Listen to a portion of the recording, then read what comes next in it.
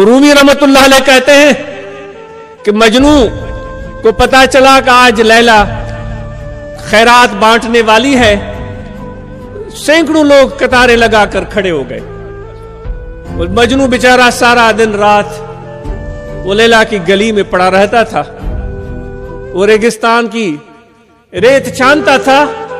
इलम वाला, अकल वाला बड़े मर्तबे शान वाला बंदा, लेकिन मोहब्बत में इस तरह फना हो गया था।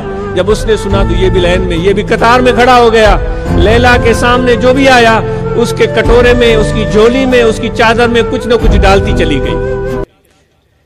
किसी को चीनी दे दी, किसी को पैसे दे दिए, किसी को चावल दे दिए, जो भी था वो देती चली गई, देती चली गई। मजनू भी लाइन में खड़ा है। जब मजनू की बारी आई तो उसने भी अपना कटोरा आगे किया। वो टूटा फूटा कटोरा जो उसके हाथ में था, लैला ने उसके हाथ से खींचा और यूँ फेंक दिया। किसी का और किसी और का नहीं फेंका। सैकड़ों लोग खड़े थे, सबको कुछ न कुछ दिया, लेकिन मजनू की बारी आई तो वो कटोरा उसके हाथ से छीनकर यूँ फेंक दिया। लोग हंसने लगे, मजनू पागल, पूरी ज़िंदगी गलियों में पड़ा रहा। तेरी इज़्ज़त यह है लेला की नज़र में?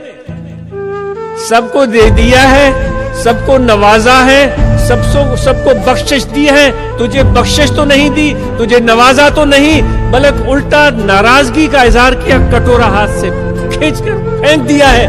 तेरी क्या मोहब्बत, तेरी क्या औकात? लोग हैरान हो गए कि मजनू गमगीन होने के बजाय खुशी से नाच रहा है। मजनू को गमगीन होना चाहिए था, मायूस होना चाहिए था। नामीद होना चाहिए था, वो खुशी से नाच रहा है। लोगों ने कहा, पागल, क्या हो गया है तुम्हें? उसने कहा, तुम नहीं जानते, तुम्हें पता नहीं है। ये नाराज़गी नहीं है, ये नाज है नाज ये नाज बुल हवस हवस के और हिर्स के मारे हुए शख्स के हिस्से में नहीं आता।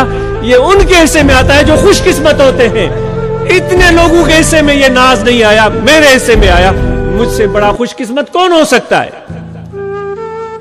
जो खुदा की मोहब्बत के तालिब मेरे भाइयों, अगर अल्लाह से प्यार करते हो तो वो फिर खुदा के नाज उठाने के लिए भी तैयार हो जाओ। वल नबलोकुम बिशैइन मिनल अमवाल वल अनफुस अगर आ गए हो मेरी गली में, अगर आ गए हो मेरे दर पर, और अब्दियत का तो गले में डाला हुआ है, मोहब्बत का रिश्ता जोड़ दिया है पर तैयार हो जाओ। खुदा कहता है, तैयार हो जाओ। मैं तुम्हें आजमाऊँगा खौफ भी आएगा, भूख भी आएगी, बीमारी भी आएगी, मौत भी आएगा, जिल्लत भी आएगी, रुसवाई भी आएगी, धक्के भी मिलेंगे, गालियाँ भी पड़ेंगी, डंडे भी पड़ेंगे, लेकिन हिलना नहीं है, अपना सर झुका के रखना।